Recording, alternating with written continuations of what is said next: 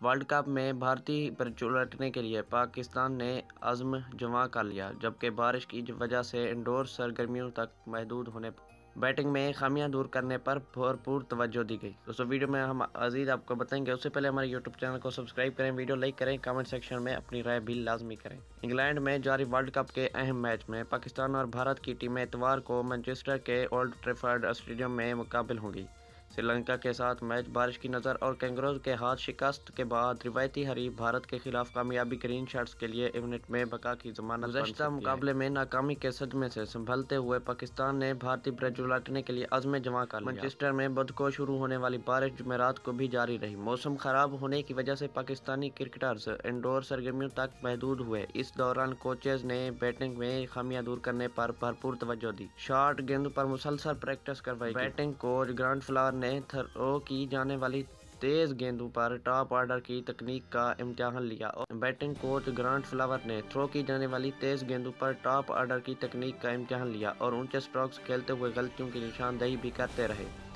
روایتی حریف کے خلاف چیمپئن ٹرافی فائنل میں فتح کے ہیرو فخر زمان نے طویل سیشن کیا۔ انہیں تسلسل کے ساتھ سٹمپ سے باہر جاتی گیندیں کروائی۔ امام الحق پل شاٹ پر اپنی تکنیک بہتر بنانے کے لیے کوشش رہے محمد حفیظ نے ابتدا میں دفاعی انداز اختیار کرنے کے بعد دل کھول کر سٹروکس کھیلے۔ Bowling coach Azhar Mahmood pacers کے باؤنسر بہتر بنانے کے لیے کوشاں رہے انہوں نے بولرز کو بھارتی ٹیم کے خلاف میچ میں مطلوبہ لائن اور لینتھ کے بارے میں سلیکٹر انتمام الحق نے کپتان سرفراز احمد اور ہیڈ کوچ مکی آرتھر سے طویل ملاقات میں بھارت کے خلاف ٹیم کی حکمت عملی پر غور کیا۔ تینوں نے پچ کا جائزہ بھی لیا۔ چیف سلیکٹر نے کھلاڑیوں سے الگ الگ ملاقات میں انہیں دباؤ برداشت کرتے ہوئے نیچرل کھیل کا مظاہرہ کرنے کا مشورہ دیا۔ دوسری جانب پاک بھارت میچ کے لیے دنیا بھر سے شائقین کی مانچسٹر آمد کا سلسلہ جاری اور دونوں پڑوسی ملکوں کے ساتھ انگلینڈ میں بھی جوش و خروش عروج پر پہنچ پاکستان اور بھارت کی ٹیموں کے مابین ابھی تک ایک سو اکتیس ون ڈے میچز کھیلے گئے ہیں۔ ان میں سے گرین شارٹس نے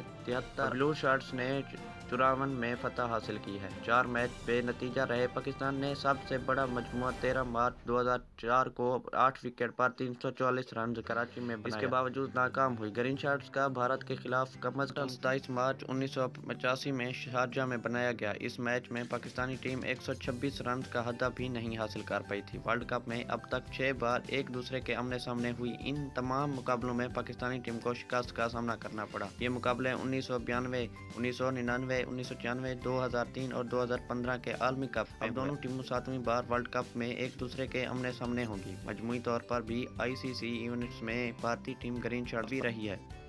پاکستان کی اکلوتی کامیابی چیمپئن ٹرافی دو ہزار ستارہ کے فائنل میں تھی۔ اس کے بعد ایشیا کپ میں بھی گرین شارٹس کو دونوں میچز میں شکست ہوئی۔ گزشتہ ورلڈ کپ میں بھارت نے ایڈیلیڈ میں کھیلے جانے والے میچ میں تین سو ایک کے جواب میں پاکستانی ٹیم دو سو چبیس پر ڈھیر ہو گئی تھی۔ دوستو، امید ہے آپ کو ویڈیو پسند ہی ہوگی۔ اگر آپ نے ہمارے اس یوٹیوب چینل کو سبسکرائب نہیں کیا تو ابھی سبسکرائب کریں، ویڈیو لائک کریں، کمنٹ سیکشن میں اپنی رائے کا اظہار لازمی کریں۔ ہم ملتے ہیں اگلی ویڈیو میں۔ اللہ حافظ۔